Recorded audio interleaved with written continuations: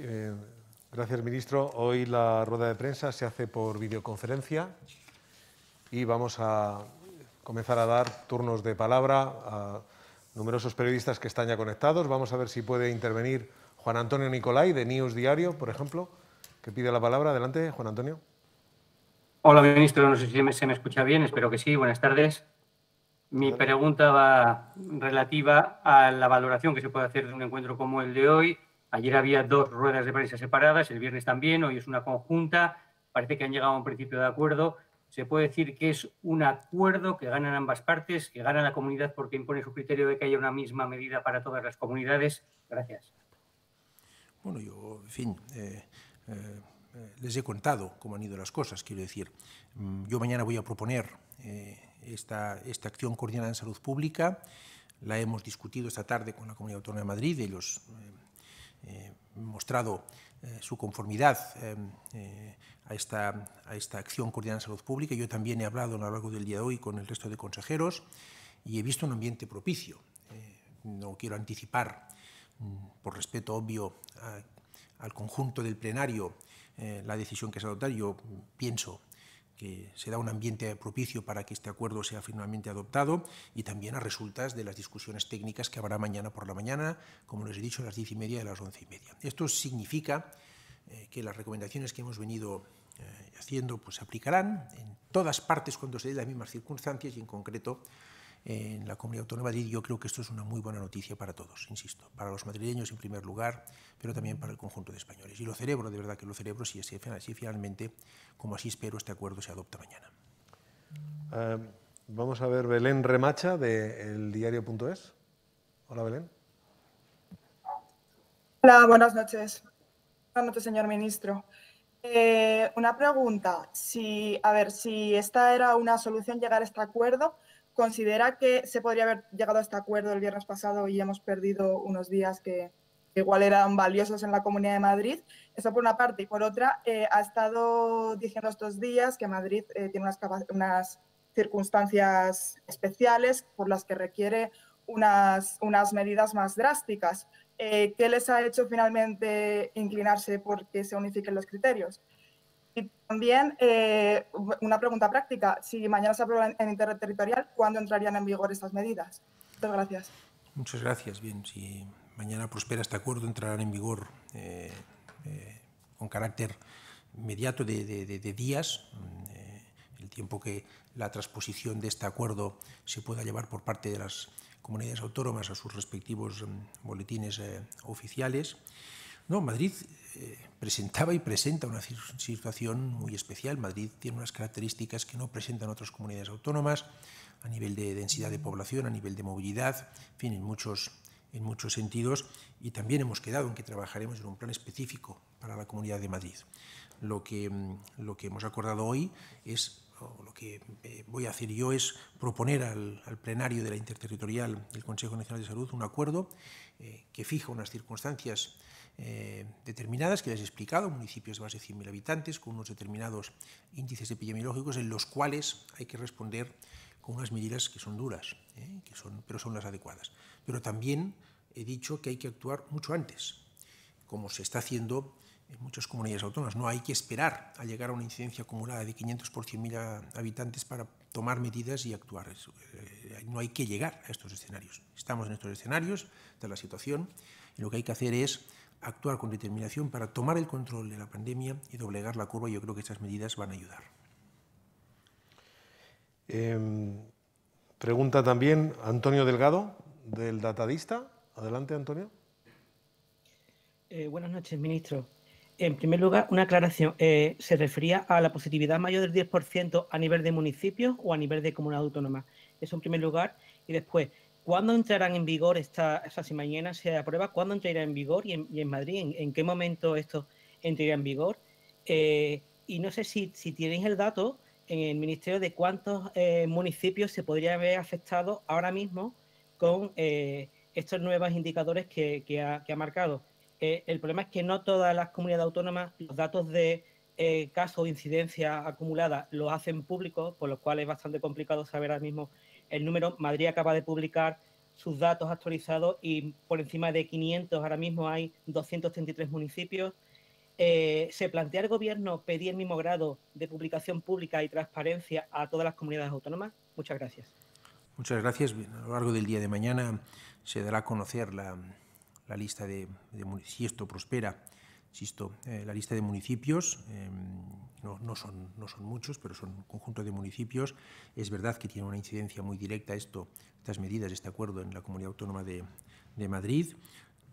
Todo lo que sea eh, un ejercicio de transparencia por parte de las comunidades autónomas será favorecido por nosotros y mañana también, después de la discusión técnica que va a ver de esta, de esta acción coordinada que, les estoy anunciando que propondré en los ámbitos técnicos que les he mencionado de, y se va a producir por la mañana, tendrán ustedes la referencia exacta de los indicadores, dónde vienen referenciados, de dónde se tienen que consultar, en fin, el detalle técnico, eh, si me permite, lo dejo para mañana.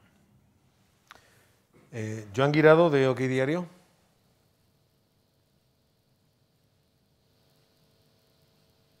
Sí, ministro, buenas tardes. Eh, eh, en lugar, en bastantes ocasiones usted ha dicho que íbamos tarde.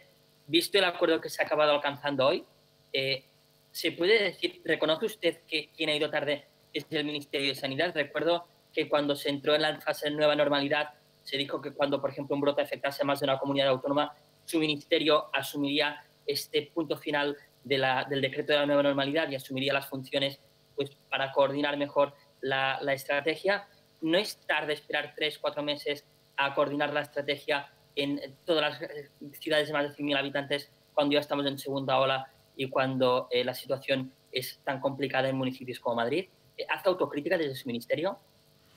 Muchas gracias, Joan, por su pregunta. Mire, yo estoy para resolver problemas. Y creo que hoy, si este acuerdo prospera mañana, esta propuesta que, que haré interior, sí creo que esta, si esta propuesta que haré prospera, solucionamos problemas. Las preguntas que usted me ha hecho tienen una respuesta que se deduce muy fácilmente de los comentarios que he hecho la última semana y los últimos meses. Manel Vilasero, de El Periódico. Sí, hola, buenas noches, ministro. Eh, quería insistir en, el tema de, mm, de, los tres criterios estos que ha citado. Eh, si, se tienen que si son criterios al margen del de la incidencia, los otros dos, tanto el de las UCIs como el de la positividad, si son criterios de toda la comunidad autónoma o solo del municipio, porque realmente tampoco parece muy lógico que sea de, del municipio. Eh, por ejemplo, en el tema de las UCIs, cuando si están descongestionadas en el municipio de al lado, eh, digamos, no, no, no, sería, no sería un problema. creo que es un tema importante a tener en cuenta para ver a qué, a qué municipios afectan. Muchas gracias, Manel. Eh, he dicho antes que la lista de municipios la daremos a conocer eh, mañana. También los detalles técnicos y los índices concretos, y donde sí que puedo anticipar que la capacidad de UCIs, por el razonamiento que, que incluía la pregunta que usted me ha formulado, será referenciado a la comunidad autónoma. Vamos a ver si se ha eh, conectado también, pedía la palabra, Emanuel Giusto, del Expreso Italiano. Hola, ¿me escuchan? Sí. Sí, buenas tardes, buenas tardes, ministro. Quería preguntar una cosa. La, esta emergencia sanitaria que se está registrando en Madrid y en España y se enfrenta a una situación política de crispación ¿Cuál es la razón de por qué no se puede superar estas diferencias entre izquierda y derecha en una situación de tal gravedad? ¿Cuál es la razón que cree usted y que podría yo contar a Italia del por qué es tan complicado eh, superar estas diferencias en una situación de, gravedad de este tipo? Gracias. Muchas gracias por su pregunta. Bien, yo ahí he de decir que no, no creo que en ese terreno España presente ningún tipo de especificidad respecto a lo que observo de la lectura de los medios de comunicación que ocurre en eh, países de nuestro entorno. Eh, en cualquier caso, eh, he dicho antes, estamos para resolver problemas. El Gobierno ha tenido siempre una actitud de apoyo, de coordinación, una actitud activa en esta fase en la que el papel principal corresponde a las comunidades autónomas, como es de suponer y es eh, en fin, corresponde a un estado de naturaleza compuesta como es el Estado español. En estos momentos, en esta fase, en este estadio de, control en el que nos encontramos, donde lo importante es la detección precoz y la vigilancia y aislamiento de los casos, pues son las comunidades autónomas las que tienen la primera actitud de, de, reacción y de respuesta y el Gobierno lo que le corresponde es lo que está haciendo, que es coordinar, ayudar, apoyar con medios materiales, con medios económicos, con medios tecnológicos, con medios legales y así lo estamos haciendo. Eh, pregunta también Luis Marchal de IM Farmacias. Hola, buenas noches. Eh, quería preguntarle, señor ministro, por qué hoy no se han publicado todavía los datos sobre los nuevos casos. Luego, si no entiendo muy bien si al final se aprueba mañana esto en el interterritorial, si este fin de semana ya Madrid Capital estaría confinada. Y luego se han abordado en la reunión otras medidas como es intervenir en el metro para que haya más frecuencia y por lo tanto menos aglomeraciones y si, por ejemplo, ya que los centros de salud están saturados, si las farmacias se plantean que vacunen de la gripe, ya que va a ser esta campaña muy importante. Gracias, ministro. Muchas gracias. Ha habido unos problemas técnicos hoy con, con, la elaboración del informe del, CAES. Me, debe de estar ya publicado. Es verdad que hace pocos minutos, pero sí, me parece que ya está publicado, que en todo caso se está, publicando. Em, nosotros somos partidarios de que si este acuerdo que propondré mañana eh, es avalado finalmente y es aprobado por la interterritorial, eh, la efectividad de las medidas sea lo antes posible, eh, lo más rápidamente posible. Y respecto a las dos, últimas cuestiones que me ha formulado, lo del las frecuencias del transporte metropolitano, del metro y, la posibilidad de buscar alternativas en los centros de salud para las vacunaciones son decisiones que corresponde tomar a, las comunidades autónomas, pero ya le he dicho que también hemos hablado hoy de, hacer, un, como corresponde, un plan especial para Madrid y, por tanto, a mí me gustaría que esas medidas las pudiéramos discutir en este contexto y valorar también si el Gobierno tiene que dar algún tipo de apoyo al respecto. Siguen pidiendo palabra eh, distintos medios de comunicación. Algunos en la aplicación no sabemos muy bien el medio al que representan. Juan Pablo Ramírez está por ahí y si estás, identifica por favor el medio por el que preguntas. Sí, buenas tardes. Soy Juan Pablo Ramírez de Sanidad. Buenas tardes, señor ministro. Le quería preguntar, eh, hablaba usted de, medidas de, restricción de, la movilidad, también reducción de aforos y horarios, pero no sé si, si se podría si nos podría equiparar una vez que se, que se apruebe esta, esta, medida, si finalmente se aprueba, no sé si no lo podría equiparar con alguna de las fases de la desescalada, si, si sería como aplicar una fase 1, una fase 2. Muchas gracias, señor ministro. Ah, muchas gracias.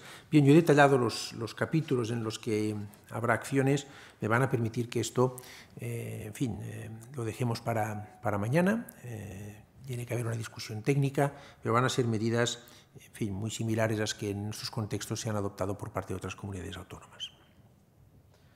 Finalizamos eh, con una eh, última pregunta. Eh, el confidencial, Darío, adelante.